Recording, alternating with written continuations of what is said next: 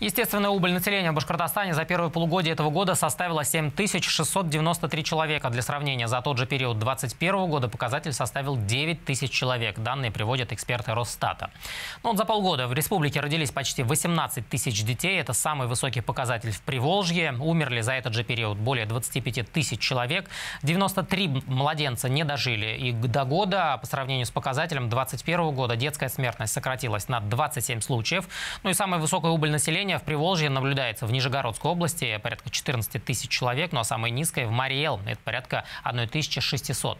Что же касается бракоразводных процессов, если сравнивать первые по полгода 21 и 22 годов, то количество заключенных союзов сократилось на 223, ну а число их расторжений, напротив, выросло на 570.